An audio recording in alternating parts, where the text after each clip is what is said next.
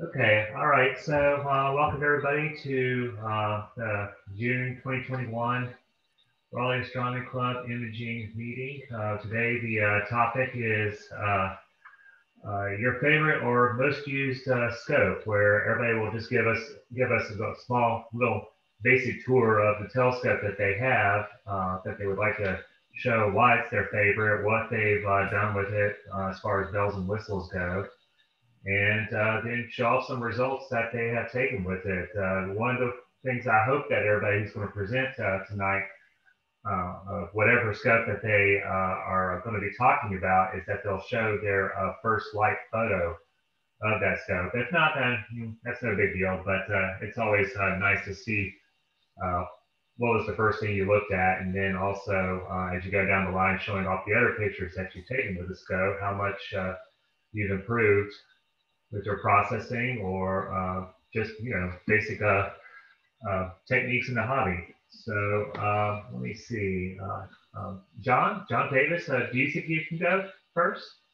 Sure. Yeah. Let me see if I can handle the screen share and stuff.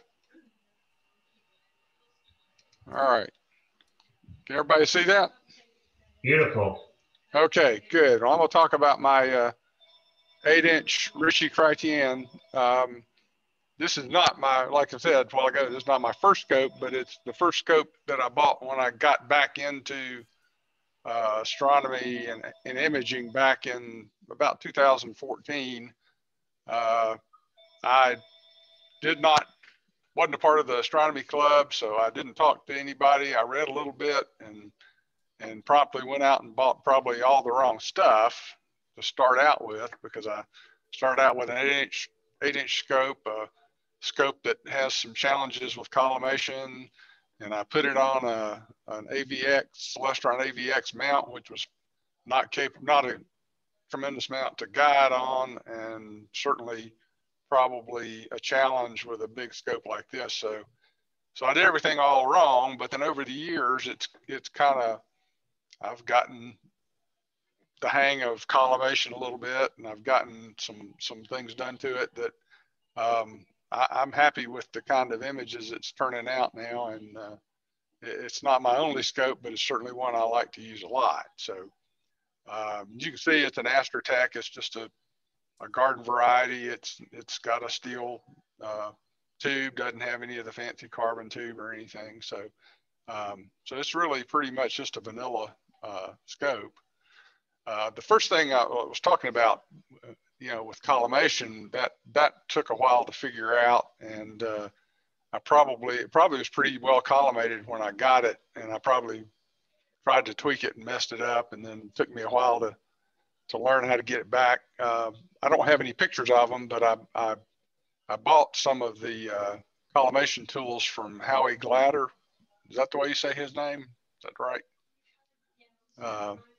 Uh, anyway, yeah. he's he's well he's he's passed he's passed away now, but he he made some really really uh, precision uh, collimation tools, and uh, I bought his his laser collimator and a couple other gadgets that he had, and that really helped me learn to do a pretty good job of collimating it, getting it close, so then you can go out and and do the final star collimation in the field and it, it worked out pretty well. So at any rate, and I, I have gotten it, it's it's stayed pretty well in collimation since the, you know, for the last couple of years, um, since I got it dialed in pretty well.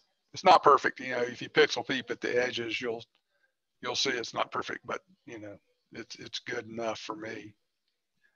Uh, one of the sure. things I did, uh, one of the the first, you know, this thing came with a a stock focuser and all that kind of stuff. So one of the first things that I did upgrade on it, I'll show you this first, is this. Uh, can y'all see my mouse? Yeah. You see the mouse yeah. there? Okay. This uh, this ring is a uh, is to help collimation. You know, one of the problems with these cheap uh, cheaper RC scopes is that the the focuser is attached to the the mirror cell, so whatever you do to try to get the make sure that your focuser is parallel or to your uh, or is aligned with your image your your image train uh, whatever you do to, to adjust that uh, can mess up the rest of the collimation. So I added this uh, gadget that came from uh, the company that made the scope that lets you adjust the the uh, focuser independent of the the the rest of the the mirror cell when you're trying to collimate. So um, so that was one thing I did. Uh, then the uh, next thing I did was upgrade to a, a, a Moonlite focuser uh, with the with the uh, stepper motor controller so that I could you know do uh, automatic focusing um, uh, rather than being stuck with manual focusing. And also, I think this is just generally a smoother, much better, uh, obviously, focuser than the stock one that, that came with it. Although what that wasn't a terrible focuser. Um, so, so I did that within a year of really getting going on this on the scope. Um, the next thing I did was invest in a in a uh, compressor uh, from Astro-Physics so that I could knock it down from uh, from F8 to you know, usually I run it at, at 70% uh, reduction so that I get F5 6. Um, so it really helps with a lot with your you know composition and being able to get uh, long enough subs. You know, tracking is easier and just a lot of things that that that that helped out with the uh, with the quality of the images. So John, uh, kind of question see. here. Yes. Uh, so okay. yeah, we're looking at the uh, your teleconference astro. What's that little thing to the uh, right of it? it says Stellarvue SFE and 48V-5. What, what is that exactly? Is that um, spacer or? That's just a. It's just a space. Just a spacer. Yeah. Um, I don't just trying to figure out. Oh, okay. Yeah, yeah, yeah. Um, so the the scope is to the left and the camera's to the right.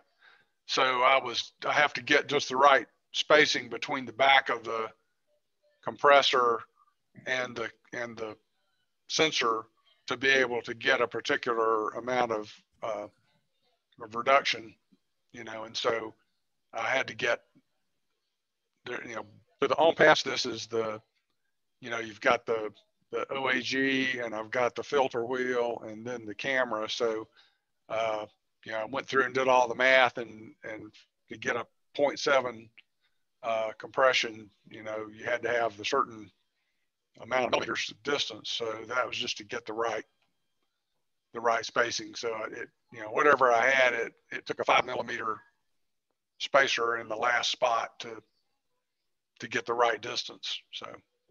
That's all that is. Is nothing, nothing, nothing uh, active in that in that section. So, is that what you want to know?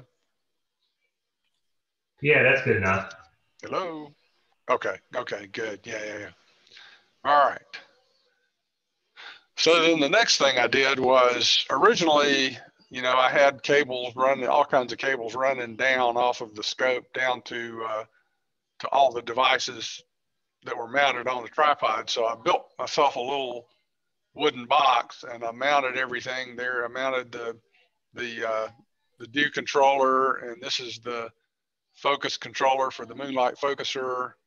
Then I've got a I've got a, a StarTech uh, powered hub there, and then I've got uh, on the other side a, an Anderson power pole uh, power distribution bus so that I can you know run everything from the devices on the scope to this box. And then I've only got one, one cable coming off with, uh, with power and, and data coming back down to the, to the ground and over to the, to my laptop. So um, that, that just eliminated a whole lot of uh, potential cable snags. Um, and now that my, my mount has a, the ability to run the those the data and the and the power through the through the shafts of the mount, uh, it really is nice because you basically have totally eliminated any opportunity to snag anything. Uh, the so, really needs five amps. Huh? Do what? the focuser really needs five amps. Uh, wow, that's more than that. No, probably, probably, probably not. I don't remember now. I don't know what I where I was going with that, but okay. it's probably less than that because I don't pull. I don't pull. I was doing a test the other day because I just now have ordered a a, a uh, lithium iron phosphate battery, and I was double checking to see how much power I pull, and I think my the whole thing mount and everything only pull pulls less than three amps when it's running. So okay. yeah, so there's the the view controller is the thing that that uh, you know, and that may be what I did was I put what this runs back to the battery, and there's actually another uh, there was another power distribution thing on the on the battery whenever I used to run individual power cables, and that may be where I just what uh, fuse was in that particular channel. So no, I probably could crank, crank these crank these down a good bit. Um, hey, John, I had a question. Sure. Uh, one, uh, so if a beginner was interested in a longer focal length scope, how would you rate this as beginner friendly or intermediately friendly? I would say it's it's an an intermediate, just because I would say intermediate, just because of the you know, the collimation can, you know, be a challenge for you. I, if, if I was, to be honest, if I was doing it over again after having been around the club and talking to everybody, I probably would have gone the route of a, of a Newtonian, like kind of like you got, like you have, okay. you know, a, yeah, a fast Newtonian, you know, just because of, you know, the, that particular aspect of it. You know, it's uh, um, well, it's nice are... because it because it is it's pretty easy to balance everything. You know, you don't have a long tube, you don't have, you know, from that standpoint, it, it really does have some advantages. Um, but I would definitely say it's an it's a an intermediate level uh, scope for for people. You know? Yeah, the Newtonian. I would. So after I bought this one, that category because the thing about a Newtonian is that's very challenging back focus, whereas this thing uh, you have about six feet of back focus from looking at your yeah. imaging. So this is true. This is uh, true. You know, so, yeah, it, it, really is. it is easy from that standpoint. I, you know, it. Uh, yeah, I, you know, I say that about the Newtonian, but I haven't worked with one, so I don't know what the challenges are with it. I yeah, I, I, played with one of these for about three months and uh, gave up because for at least my my particular, I loved it when it was collimated. It was great, and with that mm-hmm. that Astro-Physics reducer is amazing. Um, but uh, I found no matter how hard I tightened the primary, if I flipped the scope, the collimation would shift. And that may have just been oh, my wow. particular instance was just not well sure. done. But I, I was frustrated because I really loved it. Otherwise, it was really uh, hmm. fast and had great image quality. Yeah, I mean, like I say, I I haven't noticed it doing that. It seems to have, you know, done pretty well Cool. Uh, That's great. For me, I'll show I'll show you a couple of couple of pictures that are you know fairly recent, and so um, I haven't noticed any problems with that with this one. So, mm-hmm. but yeah, I, you know, you you go out on cloudy nights and you start reading, and you you see all kinds of you know horror stories and stuff. You know, but I didn't see that before I bought mine. But uh, perfect. You know, I'm just uh, for the moment, I'm it's everything's cooking good. So. Mm-hmm. That's what I'm hoping it'll stay that way. now, I will I will tell you an interesting thing. Yeah, I just bought this box here. You see all the parts on it. I just bought a. Uh, I'm building. I bought built a, a rig that's for that's portable using one of the uh, one of those little portable mounts. The the uh, oh shoot, I'm drawing a blank on the name of it now. Um, but one is one of the two. It's an Ioptron, you know, one of those little portable mounts and I bought one of those uh, Pegasus uh, boxes that has all of this capability built into it in one box. So you've got this little box that's about a, an inch thick and about five by five uh, dimensions, and it, but it costs about 600 bucks.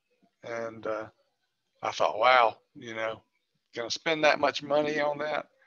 But then I added up what I spent on the parts that are on this box, and it's not that much less. So, so I, I couldn't necessarily say that I would recommend doing what I've done with this this uh, this box versus buying one of those things uh, as your you know as your uh, power distribution and control stuff. So uh, just just my if you're if you're somebody likes to tinker, this is a really good way to go. And I probably spent too much money on some of these parts, but uh, but anyway, I'm talking too long. Let me go on.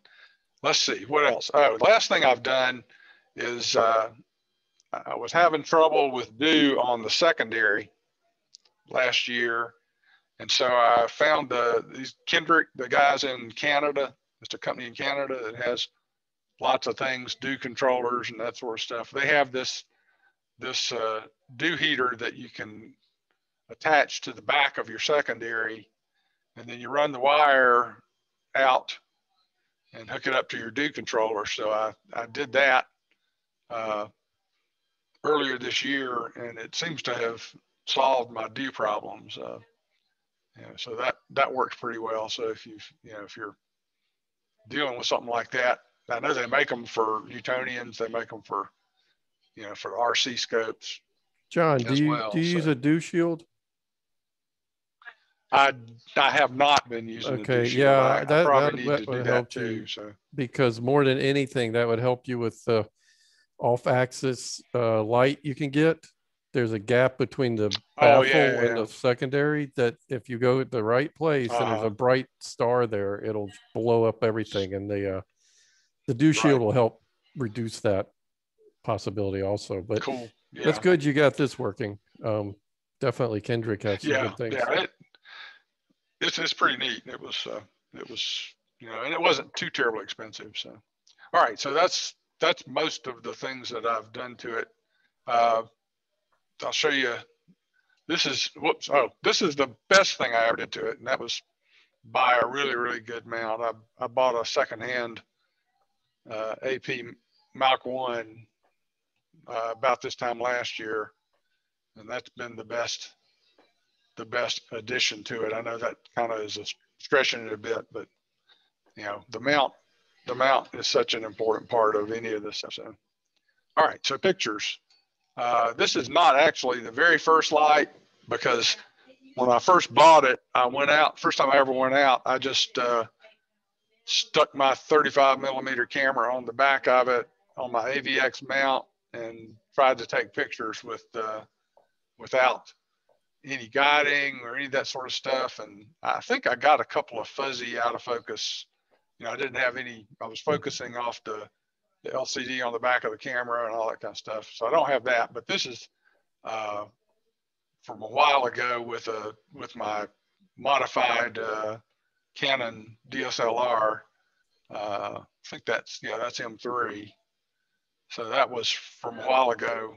Uh, and this is one of the more recent ones, uh, Crab Nebula from maybe last year or early, early, late 2019 or early 2020.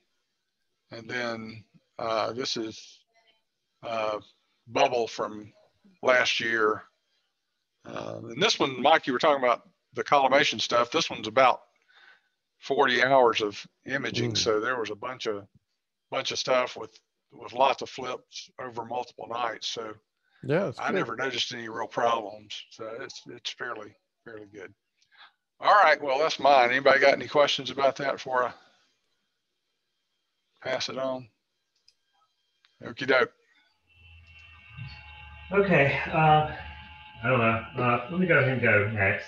Um, so, see, do I have my thing up set up here? Yeah, there it is. Okay, share my screen. And that one's there. Okay, everybody see that?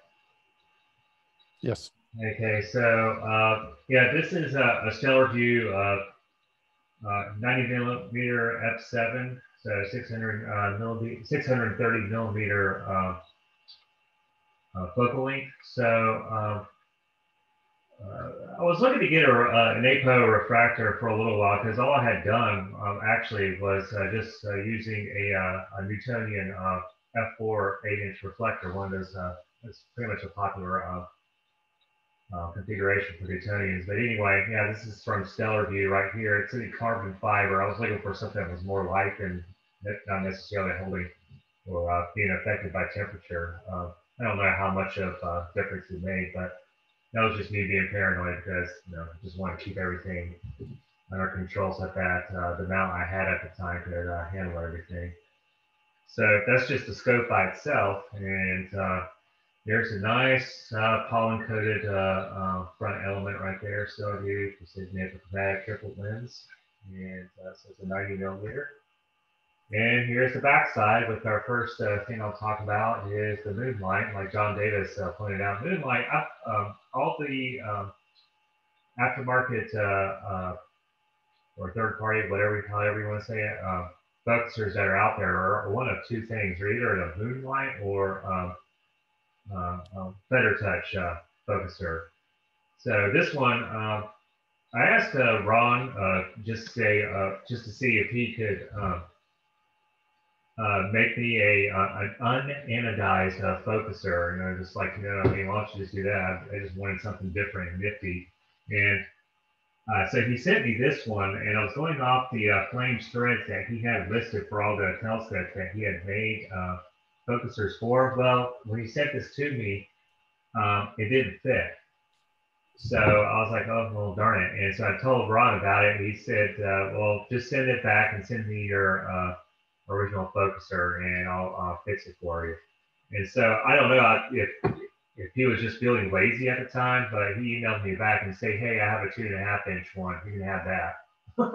so it's like, okay, yeah, sure. so I, I apologize. I'm sorry it came to that but yeah, so anyway, uh, but at first this was just all manual, and then I had that stepper motor added to it uh, right there.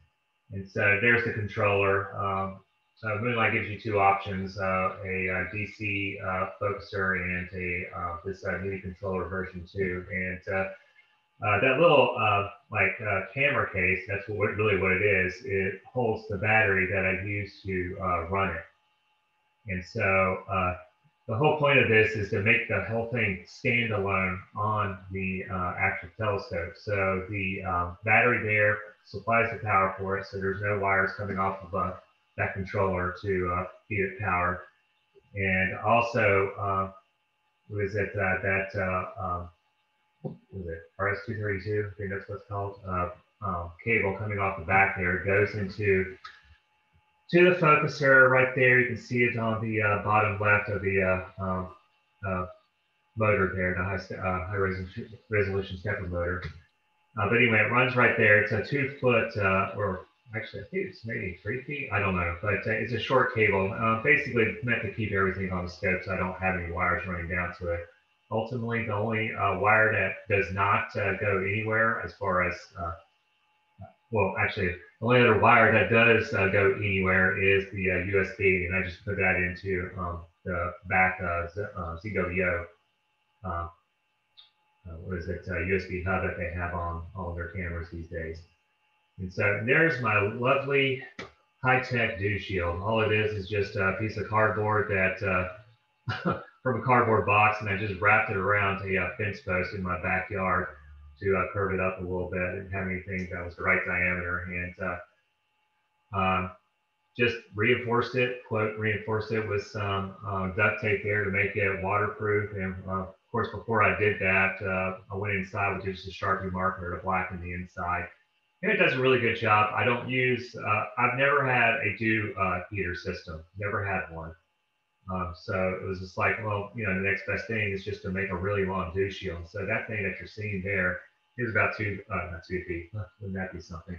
Um, is uh, about one uh, foot in length. And uh, I've never had uh, um, uh, the lenses fog up on me since I put that on there. I mean, it's just so long, you know, why not? And of course, I take the risk of increasing the profile of the actual OTA, put that on there. But since it's so light, the only thing I really have to worry about is if there's going to be any light breezes on the night of imaging. But usually when you have a breeze around like that, you don't really have to worry about dew. So anyway, there's that. And then, uh, well, not all, uh, uh, scopes are perfect, and this is not an FSQ 106 by Takahashi, so I had to get a field flattener for it, and uh, been using that for quite a while, the Astrotech field flattener there.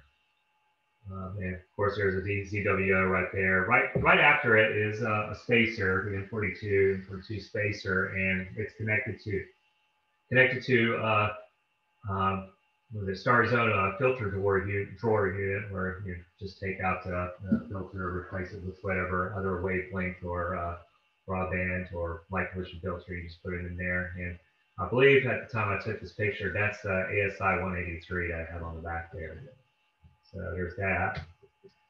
Okay, and then other things I have added on to it is I like to do a lot of solar imaging. So here's a Herschel wedge that I got from uh, uh, Lunt, uh, think it's called Lunt Solar Systems is the name of the company. But anyway, uh, it's a Lunt uh, uh, Herschel wedge, and uh, it's a really good, uh, nice little all-in-one kind of unit. So um, I, was just looking for. I've had two. this is just because I'm so rough with my equipment. I've had two regular Baader film solar filters go bad on me, and that was like I said, I'm just rough-handed with them. So I just went ahead and just got the wedge. It was expensive, but hey, all said and done, right? And so, yeah, to take it to the next level, I do again uh, some more of uh, solar imaging uh, accessories. Here's a calcium K-line filter, uh, uh, also made by Luntz, made to go after the, uh, the light of calcium at the K line. I can't remember what the K is. maybe somebody can interrupt me and tell me, but but anyway, it's centered around I think it's 393 nanometers is what that filter uh, is uh, filters for. And uh, calcium line to me is more interesting than uh, hydrogen alpha. However, uh, I did a time lapse a long time ago just to see what happens. It's nowhere near as dynamic as hydrogen alpha. But uh, one thing about calcium K-line, just that little module right there, you can sometimes see prominences. Of course, you're going to need a camera to see it because uh, 393 nanometers is uh, really hard to see visually. So that's everything all thrown together right there. There's the uh, uh my 200 millimeter uh, uh, Canon lens that's right on top of it for that I use as a guide step. I also use it for imaging. Um, I don't have a focuser for that one yet, so all I do is for guiding, so I don't have to come back, come outside and refocus it. I just stop it down to F10, and usually it just holds top falls right there. Don't have to worry about focusing. But uh, but there uh, uh, is the uh, hand controller for the uh, uh, Moonlite focuser right there. So you see everything is all in one. So the USB goes to the for, for, the focuser that is. The focuser controller, the USB goes to the camera. The RS-232, not in this configuration right here because I have it sitting here on my counter we go to the actual uh, stepper motor, and then that little uh, DC uh, cord that you see there is coming out of that uh, that out of that uh, camera case that I use uh, to hold the battery. And so it's all in one. It's all right there. Nothing comes off of it. The only thing that comes off the mount is just the power for the main camera for its cooler and um, what is it? well, actually USB that goes out and goes to your computer. So here's my first uh, uh, light with it. Uh, I got this, so it's funny, it's uh, this uh, year uh, marks my 10th year of having this scope. it's the scope I've owned the longest. So this is Comet Garradd, and I got right before the meeting started, I talked with Mark because he's the Comet guru around here. Asked him when when around this was because I was pretty sure it was 2011 too. Um, I was I didn't think I had bought the uh, telescope at the end of that, that year. And uh, yeah, that's Comet Garradd right there. Uh, my processing skills were still uh, a work in progress there, but uh, I thought it was pretty cool. That would be the first uh, light would be a comet. so that was pretty unique. continue to look at that comet as days went by, and I saw Michael Fulbright did this with a, a Newtonian a long time ago. but Comet Garradd went by the asterism in uh, the constellation Cygnus called a coat hanger. You got your coat hanger nebula right here. I don't know what this one is. It's an NGC open cluster of some sort, uh, but yeah. So uh, this one right here, uh, because I, I, was having the hardest time getting it to be in frame, I had to do a uh, two pane mosaic to get that to work. Okay, and you know these two are uh, that was with a Rebel uh, T3i uh, modified by Gary Honis. This is the first nebula picture I took with it. I took it out here in Apex. I know that was at the end of 2011. Definitely, that was at the end of 2011. Uh, and yeah, the, high, the housing crisis had just uh, subsided quite a bit, but not much construction had started on the three uh, housing developments around us. So it was still fairly dark. If anybody lives around in Apex or knows the area of Apex, I'll just say that uh, back in 2011, when this picture was taken, still part of Apex Barbecue Road was uh, dirt. So a little, little, well, 10 years ago. There you go. And uh, this is my first narrowband image with it, uh, Bubble Nebula, not too different from uh, what John did there. This was with a uh, an Atik 428EX, only 2.8 megapixels. I was just getting my feet wet just to see if uh, I would want to do narrowband uh, imaging or not. And yep, I still am doing it. So I don't use this camera anymore. And there's my first star cluster, which is um, aside from you know that one right there, but uh, this is my first all-out star cluster, the Pleiades, obviously. And uh, well, I've been doing so much narrowband with this uh, uh, this telescope. this was went back to the the Rebel T3i, and well, this is my very first cluster with this telescope. So I've had it for a while, never did do an all-out open cluster. Uh, I was going to try M13 last night, but just, yeah, things got in the way. But uh, anyway, so here's my first uh, Galaxy. That's M33, of course, in Pegasus. Again, Canon T3i. Uh, that's also, that's back in 2012. I remember that. Uh, this was uh, Markarian's Chain. I did this out at Big Woods and uh, did this on the weekday. So I told everybody about it. And I was out there all by my lonesome. And so uh, but the thing I like about the Markarian chain is this guy down here because my dream is maybe one of these days when I retire, I'll have the capability go to M87, which is this guy right here, and actually pick up that uh, that jet that comes out. Um, that's it's I forgot what kind of uh, particulates that is that's coming out of it. But anyway, uh, um, from what I understand, somebody was able to get this show up on using a uh, an equatorially mounted Dob, whatever that means. I always thought Dob was just on a turntable. You know, equatorially mounted. Why isn't it just uh, equatorial mounted Newtonian? But anyway, this is probably the most historic picture I've taken with it. This is, of course, the Venus transit. Uh, uh, went all the way out to Albuquerque because here in Raleigh, you only got to see about maybe the first 30 minutes. Uh, I drove, so I drove two time zones over. I'd always wanted to see the Southwest and I was like, okay, well, this is a great opportunity to do so. And so out there, um, statistically, well, it's in the Southwest, uh, it was going to be clear that day. And what's neat is that this, or I say it was going to be clear, this, uh, uh, the transit started about uh, somewhere between 30 to 40 degrees uh, above the horizon. So it had already, uh, you know, was pretty much in, in the afternoon. And so it was in the western half of the sky. The whole eastern half of the sky that day was clouded out. God, I was so lucky. I was so nervous about it. I was like, oh my God, please just stay over there. And it did. So, okay. And um, so that CaK filter I showed you earlier that uh, centers around uh, uh, 393 nanometers, that CaK uh, solar filter, this is what it can do. Um, this was uh, uh, this year, I believe, maybe March, I don't know, but there was a decent amount of uh, solar activity going on on uh, that day. And so that was with the uh, CaK filter. Now with the uh, Herschel uh, filter, this is what you can get. Uh, this is kind of, when you look through the Herschel filter, I say it's Herschel filter, Herschel wedge, you'll see that the sun is really, really bright. And um, so you would want to use a polarizing filter if you're going to image through it. Now, also you can get what's called a continuum filter, and it filters around somewhere in the 400 nanometer uh, range. I can't. It's on the green side, so I can't remember what the uh, what that wavelength is. But uh, anyway, that was on the same day as I took that one, obviously. And so this just goes to show you with the scope, uh, I've done all kinds of things with the scope. I've got filters for it, solar filters for it. I can do, you know, those two right there. Uh, then, uh, and as everybody remembers, the 2017 eclipse. yeah, Steve Christensen was set up right next to me when I took this photo right here. So yeah, very memorable experience. So surreal. So anyway, so there's that.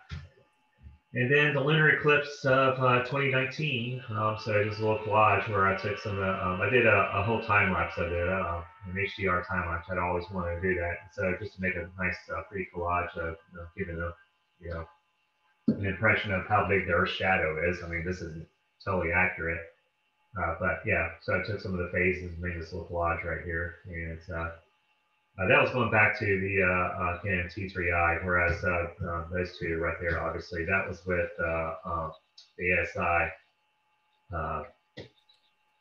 what is it? 170? 174. There we go. Anyway, Canon T3i, Canon T3i. And this, remember at the beginning of the slideshow, I showed you an image of the Horsehead Nebula that I took with this scope by using the Canon T3i. Uh, so what I did is I went back uh, late last year and uh, I took my ASI 183 and did uh, some hydrogen alpha, and I didn't do bother doing any coloring, uh, coloring, so taking any color images of it because well I had already done that. So I went back to my 2011 color data and I combined it with 2020 data, and this is what I got. So that was one of the last images I have taken with the scope. I haven't really done anything else uh, this year just yet. So that's kind of depressing, but I need to get on the ball. So anyway, okay, so uh, that's all I have. Chris, I have a question for you. What's up? You mentioned that you use that scope for solar imaging. Yeah. And you showed the Herschel wedge, but my question is, did you have an aperture mask on the front of the scope when you? No, uh, I feel like you were about to ask that. No. Uh, so the uh, model of they have two models, of course. They have one that's one and a quarter, and they have one that's two inch. So the two inch model, they say that uh, I think you're not supposed to go beyond 100 millimeters with it. Well, I was wondering is, didn't the inside of the scope get pretty hot? No. No, it hasn't. I've never noticed it. I mean, it's, it's got a carbon fiber outside, so um, maybe, um, yeah. I've, I've, actually I did that just for fun. I took out uh, one of those little, uh, I guess, laser temperature things where you just point it at an object and it tells you what the temperature is.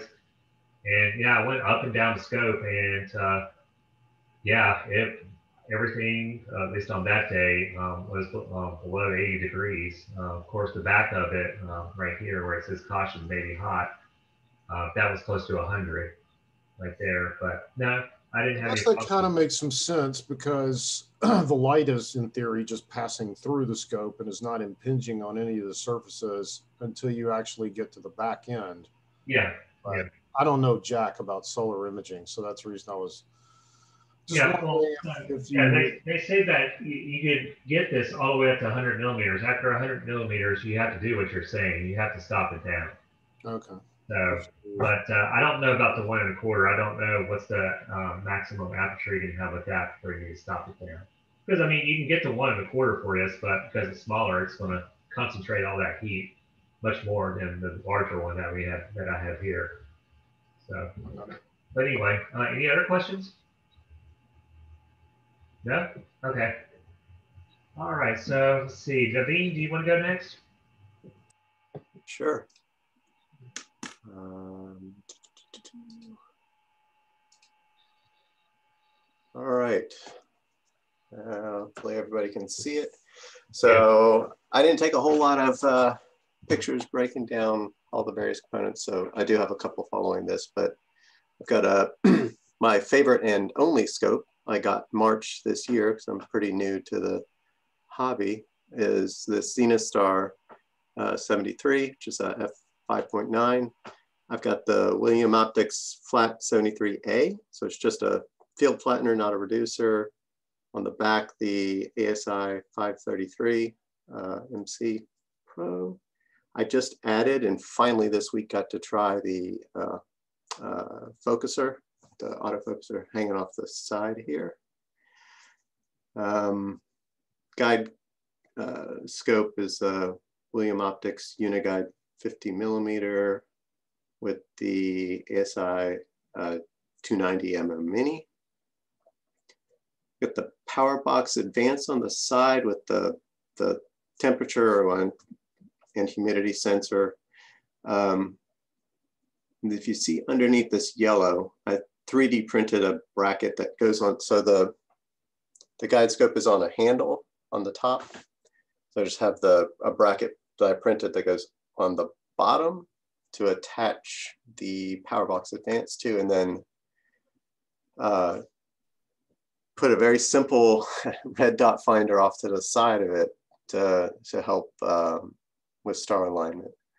Uh, when I started off, I had just a, an eyepiece in the back of the uh, guide scope, so a finder scope at the time. Um, and when I switched over, just the, until I put this uh, uh, red dot finder on, which I, I had just laying around, first couple nights it was, and you know, kind of hunt and peck and try and figure out where I need to move the scope to, to align to a star. So that was a very low tech, cheap uh, option for honing in. Um, I moved it over to this side. Originally it was on the other side, which you can't see, but there's knobs to hold the guide scope on. I had just clamped it on that and it was kind of fiddly because if I bump it, it might come loose. It wasn't sized properly. So, but now I've got a loop of wires that kind of get in the way occasionally. That's not too bad. Um, I didn't think to take a picture recently without this off. Uh, so I have a shelf liner around the field flattener, which is right in the front, uh, followed by some spacers, and then a ZWO filter drawer. Uh, so I can switch out um, UV IR cut filter and uh, the uh, L Extreme uh, for narrow band. That's just supposed to keep out stray light. Yeah, because uh, actually, I'll so right here, you can see, I'll show a zoomed out picture as well, because it was a fun little experiment. Um, but you can see the, um, the flattener right here in the front, spacer, and then the uh, filter drawer. What I found was when I first used this, it was um, a good amount of moonlight out. And um, there was some noticeable banding on some of the shots. So I had a pair of halogen lamps in my garage. Uh, so I hooked it up, taking, you know, effectively darks uh, with the light blaring on it to, to see what areas were leaking. And it's basically the whole thing. So that's why it's such a wide uh, uh, thing covering up from basically from the where I, the rotator uh, screw is back to the camera, actually wedge it up underneath the wires and have this uh, uh, strap just as far back as I can go. Originally testing with some foil just around it to block and see what, what made a change. And it's not like a massive amount of light coming in, but it was enough that I uh, just run with it on. It, it's, um, let me go back. Can't see here, but these two staples here are holding on a, a Velcro uh, tape, just the staples to make sure it doesn't come loose. And it's, it's easy to, to pull on and off and get to the filter drawer. Um, other things, so I've, I've, everything is as compact as I can get it. So I have one bundle of wires coming off.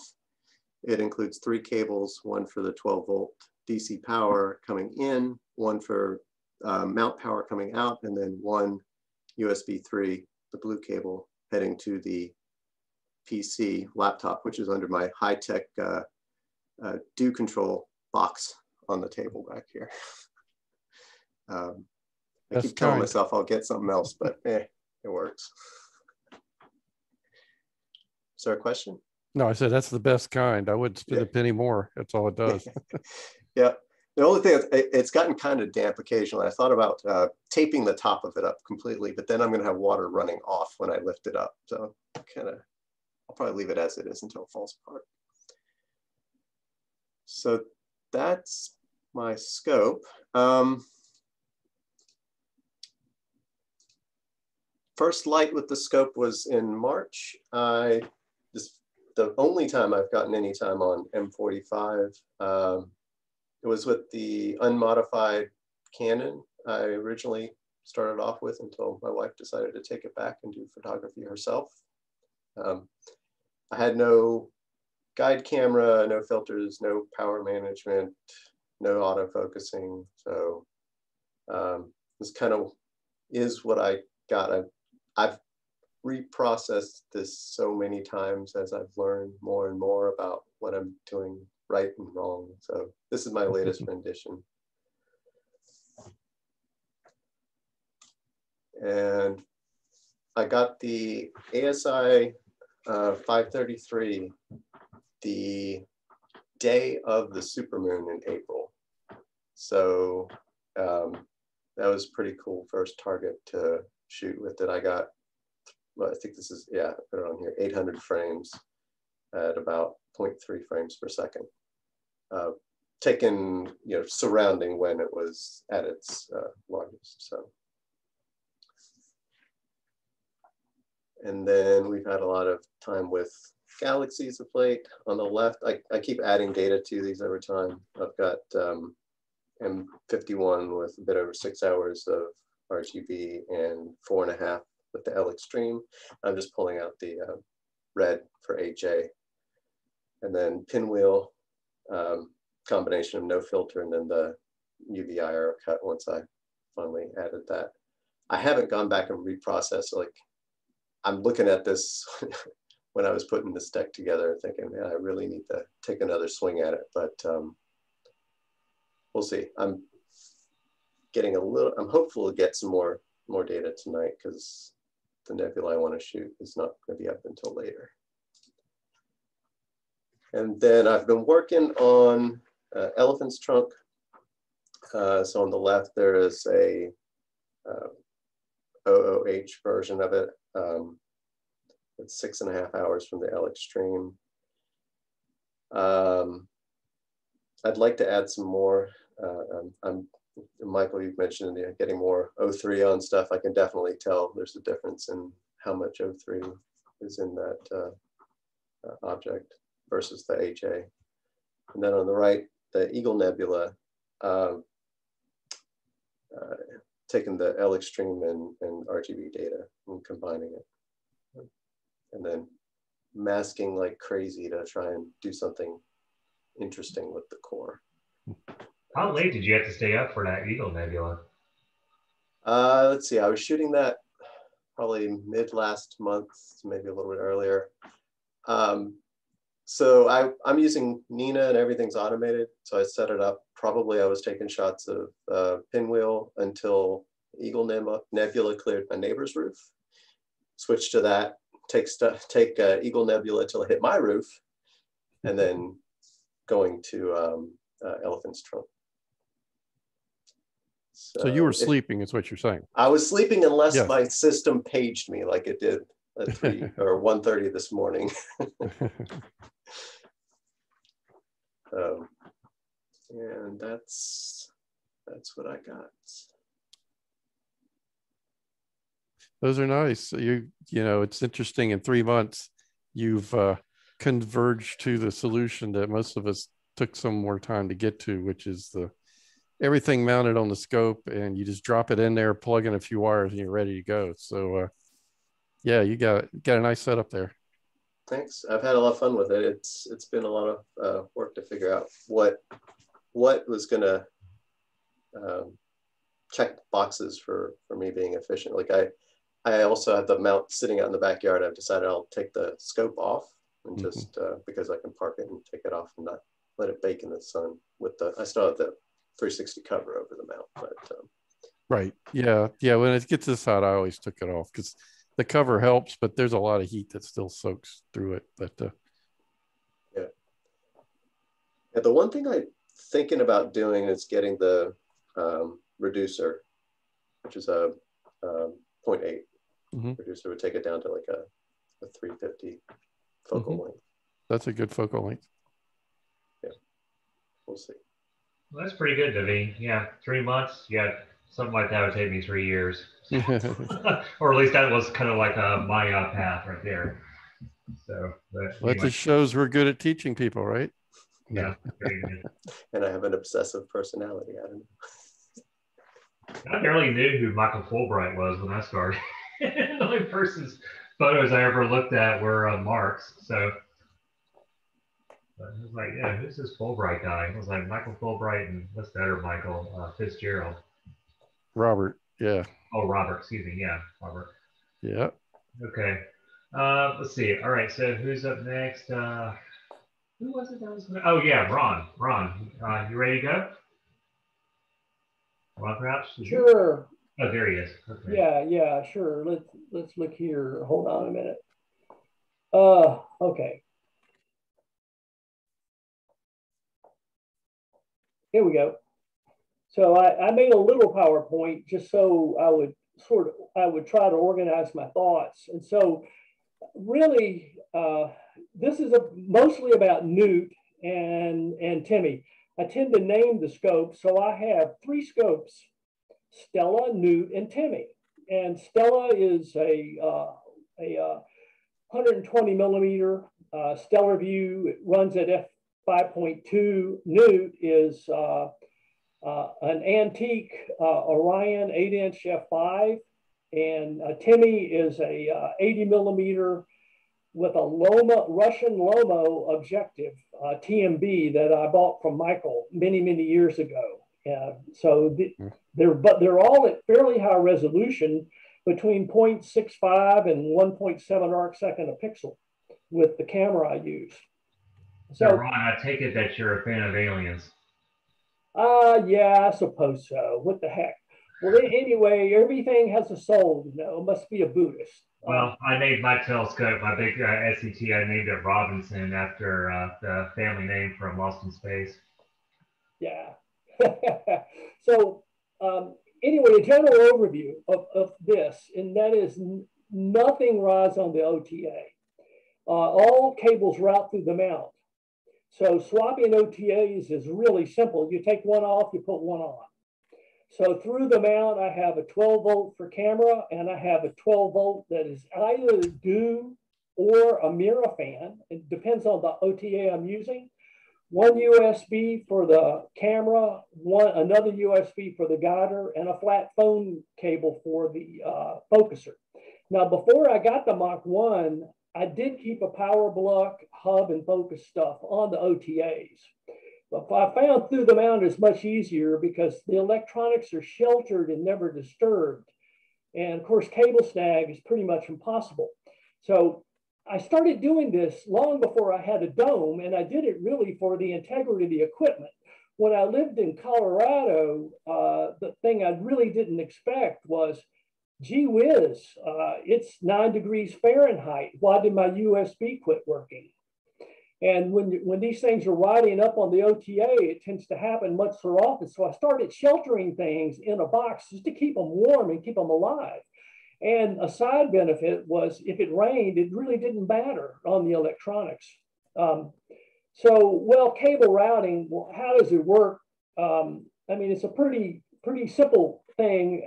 There's ports on the front and the back of the mount, and that's the cables that come out. In this case, Newt's on there. So out the back, I have another cable. In this case, it's going to a little fan for the for the mirror. And you see the real high-tech mirror fan. It's mounted on a piece of cardboard, so it won't be uh, uh, um, you know vibrating. And it was stuck on with double-sided tape in like 2012, and it must be good tape because it's still there. Now, a small another detail that comes up is that uh, the thing I hate the most are the stupid 12 volt bar barrel connectors. What a hideous way to transport power. And it's easy to do that on one end, but I really don't want to cut into the camera and modify that. So what I found to solve the problem is I have a piece of folded paper and a bolt and to a convenient screw hole is on two sides of the filter part of the camera that just secures that. So no matter what goes on, the power stays on, okay? So that's pretty clean, pretty simple setup. So uh, this is uh, a picture of the camera itself uh, mounted. So it's a QSI, and inside of that, there's eight filters inside living in, inside of there. So I got a, a, a gray cable here that powers the focuser. I have a USB for the main camera and a power for the main camera and a USB for the guider. So I bought new around 2003 for 299 from Orion. It was an 8 inch f5. And now before I did anything, I flocked the interior with some, some of the some really hideous tape, I mean, glue stick flocking paper. Once it touches, it's on forever, but the inside was no longer reflective. First thing I did is I got rid of the fat focuser and put a Moonlite motorized on there. And a key part of this that's been a theme for stability with the Newtonians is where the blue area is. There's a mounting block here for the focuser. And there's four little teeny tiny screw bolts that go through the OTA metal to hold that thing on. Well, put decent size washers behind those screws. It makes a real, real difference because you can actually tighten them up a lot because this is thin steel and you know it, it's not going to really uh, help you much if you tighten screws against bendy steel. Now, the, the first fix I did that was the most dramatic for this scope uh, cost uh, maybe a dollar and 40 cents. And that is uh, collimation continually shifted with the OTA. You know, you blame everything. You blame gravity, you blame the mirror, you blame the clouds. And in actual fact, it ended up that was nothing more than the cheesy nuts bolts here that are holding on the spiders. And so these are tightening into sort of a hole drilled in this steel can. So one day I must have had the right kind of beer and I went to Ace Hardware and I bought four really big fender washers. I bent them so that they matched the tube uh, curvature, tightened it up real, real good. Well, on, honest to goodness, uh, collimation hasn't moved in years now with this scope. And this includes picking it up, throwing the case and bringing it inside the house and out. So it's rock solid. So with the scope, if the night has stable temperature, focus really doesn't move at all after a few hours of running. So that simple fix, I think is a really key thing for these out of the box Newtonians. Um, now the second fix was to refigure the mirror that was a big decision to take and a scary step to take. Well, the mirror was okay, but when I looked at David Studer's uh, star test book, it said nothing terrible was wrong, but focus felt when I used it visually was soft, moving to focus from one direction and crisp from the other. And I figured that really can't be right. And you couldn't make any sense at all of the, of the out of focus, you know, inside or out. So I sent the mirror to Steve Swayze in Oregon, and that's his website, swayzeoptical.com. And in a minute, I'll show you the shipping mirrors is absolutely trivial once you ask Steve how to do it. And so what the deal is, is for 50 bucks, he'll evaluate the mirror and he'll tell you everything about it. And he'll also tell you, I can make it better or there's nothing I can do for it, period if he can do something for it, that 50 bucks goes towards his refigure. The total cost of the refiguring was like $200. That was it. And the recoat, he, he drop ships it to Miami to do the uh, uh, coating and the mirror comes back. So how do you ship a mirror? Well, here's just a FedEx random box. I have no idea what it was. I laid a mirror on it today just so you can see the size of it. So what you do is you take three pieces of wall insulation. And in one piece, you cut a hole so that the center is a snug fit.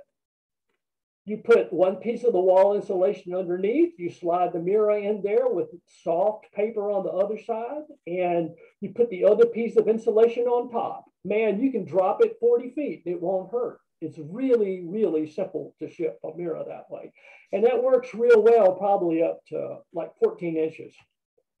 Now, this were the sort of the first images that I got out of Newt uh, after I did the mirror rework. I was really pleased and happy. It's like, holy cow, I got sharp stars and they stay sharp. So uh, the, on the left is M109. And there's, of course, you know, there's a super, super bright star here. And I kind of like the glow of the blue star floating into the field. I thought that was really kind of cool. And I'm obsessed by little tiny galaxies there. You guys know that. Another one was M106 here. And if you look carefully at M106, you can kind of see that there's all kinds of little flat fielding issues and artifacts in here. And the gradients weren't all that terrible. And so uh, what, what, what's going on here? What's going on here? Well, I had been imaging uh, all before that using a Baader MPCC, which is the only coma corrector there was for a long, long time that I knew about. And it worked pretty well. But um, it, I had a chance to borrow a Televue uh, um, uh, Paracorr from a guy in Kingsport, Tennessee for a while. And I, I, really liked it for a lot of reasons, but I really hated it for others. The first thing I didn't like about the Televue at all was it altered focus position. So I had spent a whole lot of time and trouble to make the focus on this Newtonian be really, so the mirror, the, the, the chip would be close to the OTA and suddenly you put a focal, you know, a coma corrector on there to where you got to move the main mirror. I said, I hate, don't like that. And it also increased the focal ratio. Instead of F5, it was, you know, F5 and a half or more. So what I found was that telescope services offered a uh, 0.55 9.5 coma corrector. Doesn't alter focus position at all, not even a millimeter. Scary. It reduces the focal length by 0.95. The camera side is 48 millimeter here. So here it is mounted on there. The other thing I found out that makes a huge difference with uh, flat fielding and uh, uh, off axis thing is this thing, uh, two inches, it completely fills the draw tube of the scope. So there's no internal reflections in the draw tube that bounce and find their way into the optics. And internally, this is really well baffled. So it's like having a really nice, cool uh, uh, refractor with good baffling on the front end. It's the coma corrector. So it's about the half, half the cost of the Televue coma correctors. It covers full-size chips, works between F4 and F8. And if you look at the spot diagrams, it's pretty much, it's identical to the Televue. So I gave it a try, and man, I love this telescope services coma corrector. Um, they say it's good for a full-size chip. Well, looking down, this is a picture I took the other day. I just went out and opened the shutter and I held my camera up and pointed it down and took a picture. So this is looking down, and you see, uh, you're looking down the, uh, uh, um, there's a eight inch um, do thing, extending the uh, front of the scope about a foot or more. And inside you see the flocking, but you see these little rings, and these rings are, of course, baffles. And I, I looked at, um, you know, some Newtonian designing things and looked at what diameters of baffles you needed and where you went to get them. And I went to the hobby store and bought some cardboard tube and a nice little uh, a circular cutter, and I cut them out and glued them in. And so now what's astounding is with the Newtonian, I can image really close to the moon and I don't get off axis problems in light. And before I did the changes of having, you know, the extender and the baffles and all, and also the, uh, the telescope services coma corrector, anywhere within 60 degrees of the moon was impossible. In other words, you just pick up the stray light bad. So that was a simple fix that worked really well, you know, piece of cardboard. So this is sort of a typical Newt image. Uh, I took this last summer. I don't really remember. Um, nowadays, uh, it's the Tulip Nebula. It's coming up in the summer. So it's an RGBL-H. And what I'm really happy about here is that it got the, the shock wave. So if you look right here in the image, there's a really funny little feature. And what that is, is a shock wave from the, uh, super, from the Cygnus X1 supernova remnant, which is living in this area somewhere. And that's kind of a hard thing to see because the contrast is so low and it showed up easily. Uh, another image that I really liked with Newt was some time ago. Uh, this is Abell 39. So this guy is pretty small. It's about 155 arc seconds in diameter. So it's an RGB HO. Um, it's, it's really an interesting uh, uh, planetary because it's about uh, two and a half light years in diameter. And it's the largest diameter planetary that's known that is essentially a perfect sphere. So it's something that's been studied a whole lot. And if you look through it, right here, there's a little spiral galaxy, and there's another galaxy up here that you can kind of see through it. So um, uh, that that works. So Newt has good contrast, and you can do okay. So yeah. one thing I just want to tell everybody, just right quick before I forget, is yeah, that other picture at Abell 39. Yeah. Uh, just so you know, that is in Hercules, and it's funny. It's like last meeting, I was going to ask if anybody had uh, taken a shot at that because that's something I would want to go. It's, it's really fun. Uh, it, it has, I mean, of course, it's RGB, but it has, of course, pretty good oxygen sensitivity there. H is a waste of time, frankly, on it. The, the, the hydrogen alpha, but RGBO would be really good on it. it, it it's a nice object. Um, How much time do you have in that one? Whew, uh, I think that was probably 20 hours. Total. Yeah, I was gonna say it's it's not bright. Yeah, yeah. Oh, it's very dim. I think it was like a total of 20 hours over a couple of months off and on, that kind of a thing. Mm-hmm. That's good. Now, the, all the like I say, no electronics rise on the mount. So where do they live? Well, they live in now. They live in this box. So this box sort of sits on the ground, and there's a push pull small fan in here that runs off of a, of a thermostatic switch to keep air circulating in there. Uh, even before I had the dome, I did the electronics exactly the same way, only I had a much smaller container and it set on the ground right beside the mount. And uh, so they were protected from dew and all that stuff. And I only had the cables that went up and then around, routed through the mounts. So when I was not going to image, uh, if it was going to be clear for you know several days, I just threw the 365 cover over everything, including the, the E-box. Just left it out there. And, and it made it really, really simple to go. Well, this radio thing here is the Davis weather station. So this is the E-box. Um, it also it, it keeps them safe from critters too, which is reality when you build a facility and put stuff in there. So ratty rat, rest in peace. Um, the other side benefit I didn't expect is inside I have a temperature, I have a little sensor that's temperature and humidity. I noticed that the humidity inside of this box is drastically lower than the humidity inside the dome. And the reason for that is that the air is circulating with the fans when it is warm and there are a couple of small core pieces of electronics that run in there all the time. So there's a little bit of small heating and it keeps things dry. So I've been, I've been happy with that.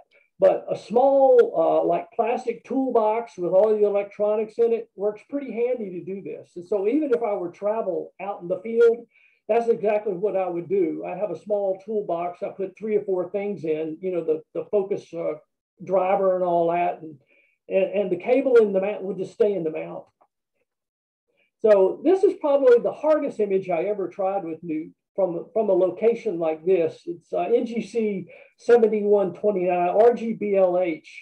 I have this just seemed to run off and on with a bunch of other targets forever. It's a hard, hard thing I really should have shown it blown up in the middle because these little Hertz objects with the little the little sickle size bright red things are very, very cool. Well, I wanted to show the whole field of view with the red over here, which is kind of hard to see, and also my nice light gradient on this side, which I couldn't couldn't really fight. So that's probably the hardest thing I did with Newton. That was maybe, I think it was last summer. Now, recent images, I did a lot of a lot of galaxies, and um, and this one is is a field I had, don't see much. It's the main one NGC 4321. This guy also has a, a, a nice NGC name. I don't remember.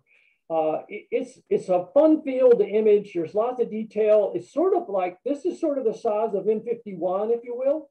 And there's a whole lot of little faint guys in there. So I, I was real happy to get this was just one of several galaxy stuff.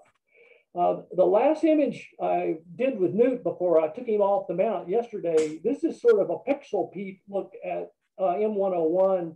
I've been trying to do this one deep and, and all. And so uh, you can see looking at the core in here that the, the 8 inch F5 can catch pretty good detail uh, all in all with here. And so this is a lot of time on it. So it's nice and stable. Lots of little galaxies in here. That's one of my favorites here. There's some over here. There's probably, I've counted probably 300 galaxies in this, in this field um, all in all, but, uh, but that's just sort of the last project. So I took Newt off yesterday to get ready for some bigger stuff. And then I'm about done here. One more slide here. So this is Timmy. This is the TMB that I bought from Michael. And when I, uh, in a word, uh, it's the best optics I've ever seen, period. And I've owned, I've owned Astro-Physics refractors. I've owned Stellarvue, uh, uh, um, fluorite uh, optics. This Lomo evidently was a Russian optics company, and they make all of the optics for the Russian military. And uh, back uh, before Putin came in power, they used to sell uh, optics commercially, but now since Putin arrived, they don't. They no longer sell uh, commercial, you know, optical lenses and stuff. It's all for the Russian military. So it, it's unbelievably nice glass. The only changes I did to the scope was I rolled up a piece of flocking board and put it inside of the OTA, and I put a Moonlite on there. So this is the setup of this scope and all I really do is flip the deck around. And so now the, the, the USB for the scope instead of the front for the Newtonian comes out the back for the refractor. And, and the, the power for the dew strip uh, runs up to up here out the front rather than to the back for the fan for the Newtonian. And this is a, a two frame uh, mosaic I took with this last uh, winter, I think. Last image, um, this is the, the, my favorite image taken with Timmy, and this one I took from a dark site. Of course, it's the Angel Nebula. It's really hard to process because the stars are so super bright and there's all kinds of detail in here. And uh, from where I live now, this would just be impossible. But from a dark site in New Mexico, this is only five subs of each color. That's all it is.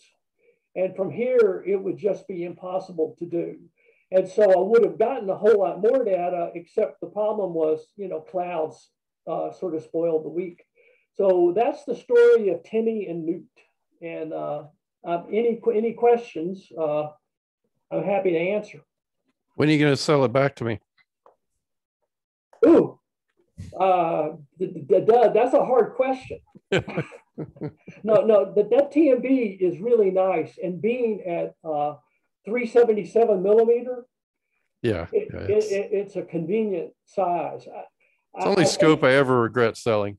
Oh yeah, yeah, I know you. You, I, you, you were there were tears in your voice when we talked about a month later.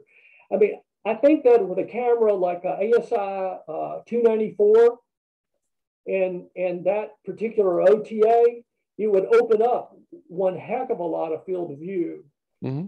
and and the resolution would be uh, outrageous. Yeah. I can go real quick, Chris. I decided to put something together if if if we got time. Yeah. Uh, yeah, sure. Uh, it's real short. Okay, go for it. All right. Uh, if I can do this. Um, which one is it? Uh, probably that one. Uh, is it sharing? Yeah. All right. So, since someone has my true love, I have my second love, which is the uh, Canon 200 millimeter. Uh, which I sold back to you, by the way. Which he he did sell back to me. By the way, you shipped it back like hardly with any foam or anything in it. I'm amazed it still works, but no. Uh, so I bought this literally uh, June, maybe May of 2009. And this is the original incarnation. Uh, bit of a Frankenstein, as most of my stuff is. Um, old RoboFocus motor with a belt, uh, with this rubber band keeping some tension on it very precisely. And uh, this really stout uh, guide scope over here with a Meade DSI uh, high resolution guide scope. Yeah, this is this is the way things were a decade ago. You couldn't just go buy all these things uh, from ASI real cheap and throw it together. You kind of had to do it yourself. But uh, it's 200 millimeters. Uh, it's f2.8 natively. I usually ran it at uh, between f3.3 for narrowband and maybe f4 for RGB. Uh, this is an old SXV H9 two megapixel camera on the back that I got in 2003 for three and a half K. So uh, anyone who complains about how expensive cameras are now can shove it. Um, this is an FLI uh, 8 uh, five position, two inch filter wheel. Uh, so this, I wouldn't call this state of the art 12 years ago, but for the price point most of us could operate it, this would probably be what you're working with. And uh, yeah, I'm not, let's see here. So this was kind of a first light. It's probably about an hour of HA. Uh, now this um, one was using an FLI ML8300. That's a KAF 8300 camera FLI was selling. That sensor is about the same size as the ASI 1600. And, uh, you know, I liked it because with the 200 millimeter focal length, it gave me a five degree field of view, which uh, is kind of, I think, a kind of a magic number. Three degrees is another magic number that lets you do things like Andromeda and some of the bigger nebula. So that gave me a nice capability without having to do any uh, mosaics. Uh, so this image uh, is from June 2nd, 2009. And Mr. Ron and I were up at Dalton Park when I took this, uh, Rho-Ophiuchus, I can't pronounce it. That's up, I remember last night I was sitting out on the deck looking at Scorpius and uh, M4 down here. Uh, it's a nice region. And that's uh, something, you know, I could finally start doing with, uh, I had a bigger sensor and shorter focal length and I was able to start getting some of these bigger areas. Um, so more recently, uh, I bought it back. This is actually a Canon 200 millimeter. I don't have a picture of the, I mean, a 100 millimeter. I don't have the 200 millimeter on here, but the idea is the same. I switched to this big uh, Cassidy tandem bar that probably weighs more than the Mach 1 it's sitting on. It's very stout. And uh, I have the, the lens and the ASI 1600 and then this kind of homemade uh, 50 millimeter guider with these really fancy wooden uh, guide rings. Uh, so this is uh, about a five dollar stepper motor I got off Amazon. I think nowadays you get five for ten dollars. And I had this little lens gear which you wrap around the lens, and it gets kind of tight on there, and then it has a matching gear, so it's really easy to focus uh, the lens with that. Ooh. And so, Mike, you call that a lens gear? I mean, that's what they call them. Um, you can't see it, but on the other side there is a, a slot with a screw, and you basically pull it around and slide it into the slot where it's tight, and then you tighten the screw so it doesn't come apart. Um, and it's a very sticky kind of not sticky like tape, but just a rubber that with a lot of friction. So if you get it on there, it doesn't slip. Um, and it gives you, like a nice uh, a play uh, or a you know a place where you got that from. Like um, just go on eBay and search for lens ring or lens gear. You'll see eight thousand of them. If you can't find one, let me know. But they're Chris, you can buy them all day long on BH Photo Video. Yeah, you can get yeah. it anywhere. A lot of times, I, I found stuff like that looking for follow focus. Mm-hmm. That's a good one too. that. Uh, here's the back end of it. Here's a little Nano, uh, Arduino Nano and the little controller board. So for five bucks, I got the stepper and the controller board. And then I just wrote some code for this to drive it. And uh, yeah, it's sitting on this nice Astro-Physics, but uh, this is kind of the setup. So it's real simple. I just pick the whole thing up, drop it down on there and it's ready to go. Wait a minute, that's a Starshoot auto guider? Yeah, it's an older, I replaced oh my that. God, that's that. still around? Yeah, uh, this or, picture's from uh, 2016, I think. But uh, so here's uh, one of the pictures. This is uh, Simeis, uh, I think I said that right. 147. Uh, it's a big, something I've always been, spaghetti nebula, I think is what people call it. Uh, it's probably pushing 30 some hours of HOO. Um, so it's five degrees across. So it's a it's a big region, and I got it all in one shot with this setup with the ASI 1600. Um, let's see. Here's the seagull. Uh, same idea, just a bunch of HOO data. I, I tend to do Michael, HOO. Michael, these are still the with the 200 millimeter or the 100? Yes. Yeah, the 100 was simply the that's the only picture I had of things like in my current setup. I would swap between the 100 and the 200. Although honestly, that 100 is a garbage for astronomy for some reason. Um, the 200 is immaculate. Um, let's see, here's a M31. So this gives you an idea of your field of view with, uh, with the like the TMB 80 uh, with a reducer, uh, you know, your field of view would just fit M31 if you you slid it in there sideways. Um, so this gives you a little room to work with. Um, oh, and here is, oops, let's turn that off. Uh, it's this is a lobster. The bubble is hidden in here somewhere. M52 is down here. And uh, don't remember this region, but this is another one I took last year. This is SHO. But again, it you just you get you can just gather up such huge swaths of the sky. It's really nice. And uh, yeah, and I did the M87 jet with it also. No, I was going to show this to Chris. This was with the C8 last year. You can get the the jet if you work on it um, pretty okay. easily. Uh, I'm not at your site there. You know, well, what's the time that you got? Did you do this from your house then? Yeah. Oh, okay. Um, wow. Let me uh, see if I can get back to the uh, oops uh, to the technical card. What did I do? Uh, yeah, so it's just RGBL, uh, total of about three hours, bunch of short exposures. So uh, yeah, I mean it's, it's nothing magic about it. Yeah, I had no idea. It, it's not like doing Einstein's you know ring or, or, or cross or any of those uh, gravitationally lens things. Now those are tiny. Um, you'd need great seeing for those, I think. But this is this is pretty big relatively. So yeah, you you could probably pull it off if you have with your if you still have your C nine and a quarter. Uh, actually, at that I went up to C eleven. So oh, right, right. So even better. yeah. That's all I had. Cool.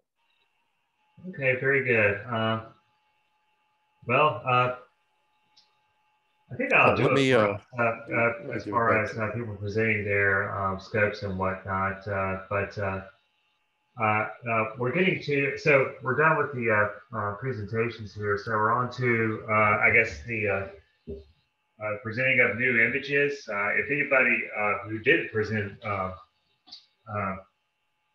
their telescope setup, does anybody want to show off their images or have something else to show? Steve, why don't you talk about your new camera and M81? Uh, well, this is the first slide of the ASI 2600 mm, just luminosity, just two nights ago because I just got everything working. And my problem is the, the uh, filter wheel that I have on there, the 36 millimeter filter wheel, had some uh, definite light uh, coming in. I was getting flats and darks. I was getting all kinds of weird light. And so I, I finally figured out where it was coming in and I fixed that. So tonight I'll try and see if I can do something better. This is about 30 minutes of one minute exposures on the M81. It's literally the first thing I shot with two nights ago. So that's really all I have of it right now. This is on the Stellarvue 102. Uh, so I'll, I'll, keep working, but I, I'd say I've had two days with it. So I'm still waiting for my narrowband filters for it because those still haven't shown up yet. So we'll see when those come out. What'd you buy? Uh, Astrodon, uh, okay. three three nanometer Astrodons, 36 millimeter filters. Terribly expensive. Yeah. Three of them. It's very expensive. Steve, did you yeah. intend to show us a picture? What's that? Did you intend to show us a picture? No, it's what's behind me. oh, I'm sorry, I missed that part. I was like, wait a minute, you got to share your screen to show that. Okay, never mind. Only picture I've taken with it that was two nights ago, and I'm going to try some other things tonight. Now I've got the light leaking figured out, uh, but I couldn't do flats or darks because I was getting light leaking. It was just killing those.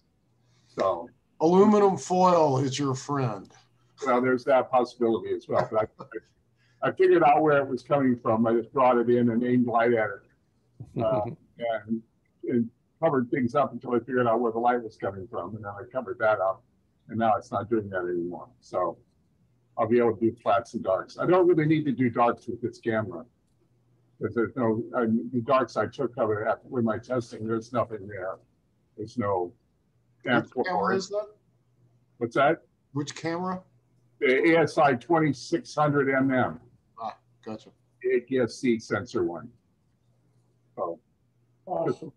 together, but I've got it finally. I'm still waiting on the narrowband filters. Um, I'll, Uh, I'll keep at it. Yeah. Okay. I, want to, I want to share something for about five seconds, Okay, go for it. just to All right. show uh, uh, the, this, this good old story about imaging. Uh, we're, we're looking at the uh, radar scene of the, the, the cursor here is my house. And and and and weather moves northwest northeast right? Well look at this storm right here. It knows i was going to image tonight and so it's homing in on us. And i mean this is a small storm for texas. It's about as wide as north carolina is okay and so uh, i can hardly wait it's going to be arriving any minute Yeah, you could have. Well, no, the uh, we're still at twilight here, I guess. So yeah, you're one uh, time zone over, so it's probably yeah, you probably have to wait another two hours before it'll be really dark. Yeah. Yeah.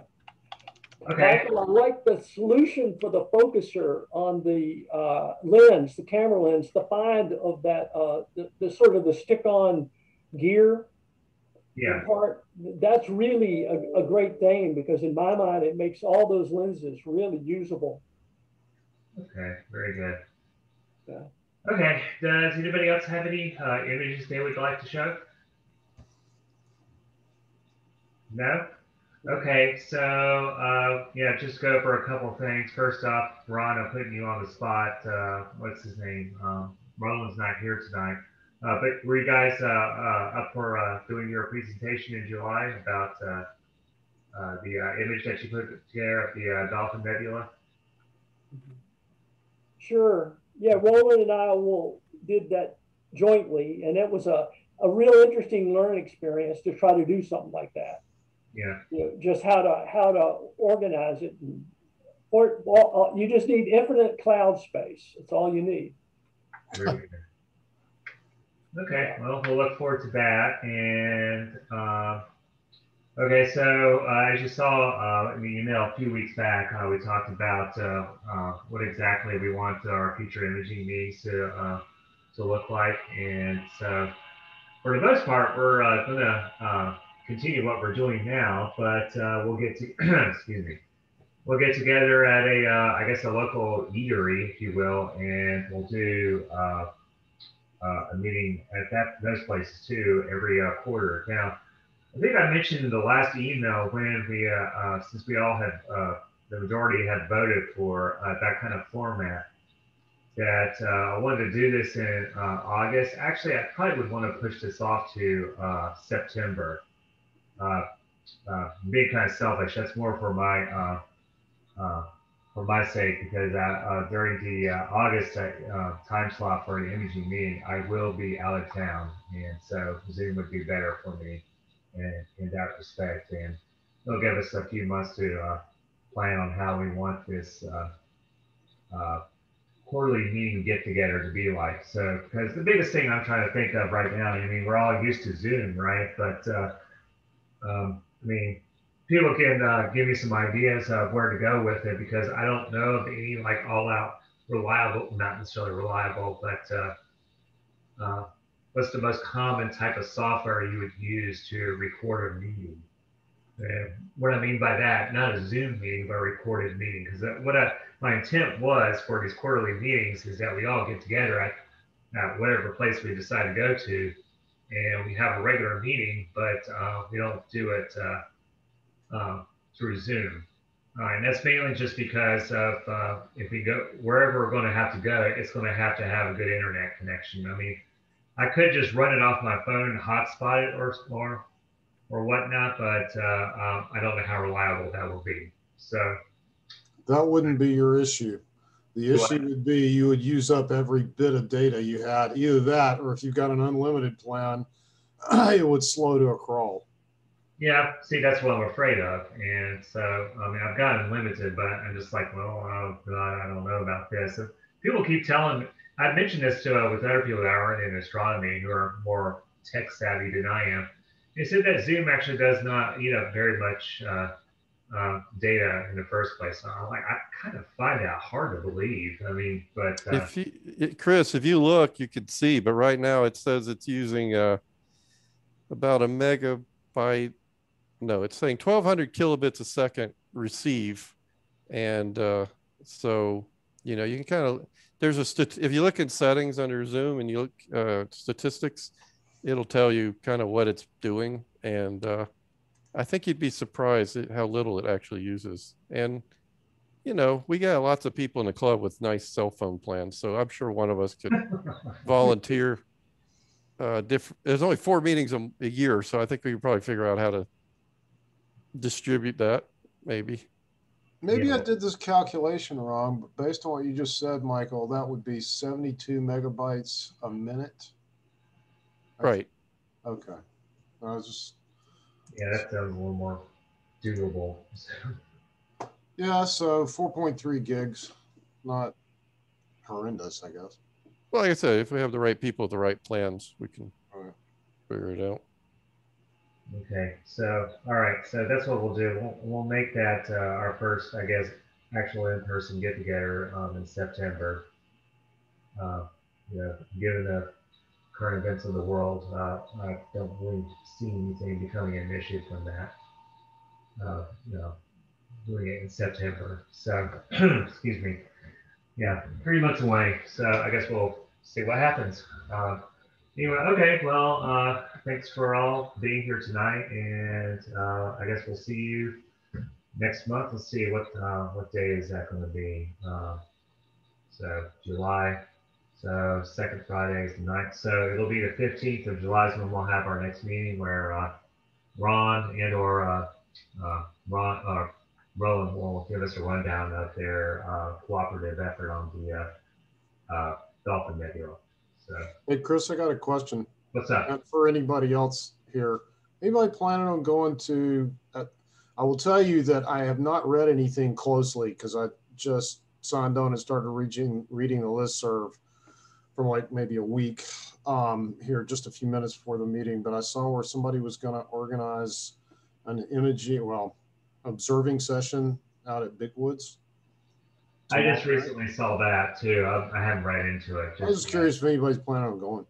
Uh, well, uh, we have a, a member here tonight that was asking about that. I don't plan on going to that, uh, but uh, uh, I mean that was something that we had talked about earlier, or Michael brought up because we had done that a long, long time ago. Or at least uh, I only was at one a long, long time ago, where we would get, you know, do get-togethers out at like say Big, Big Woods or whatever, and uh, bring out all of our imaging setups and uh, people would stroll around and look at what everybody's doing and if anybody had any problems or if anybody need, needed advice about uh, taking care of uh, uh, a situation where imaging could have been, have been done better, you know, well, your setup's right there. Everybody can give your, your input. So, so anyway, okay. Uh, do what? What'd you say? I, I was just curious. Anybody Okay. planning on All right, very good. All right. Uh, anybody else have anything? No? Okay. Well, we'll see you next month, uh, July 15th. Have a good night. Good night. Uh,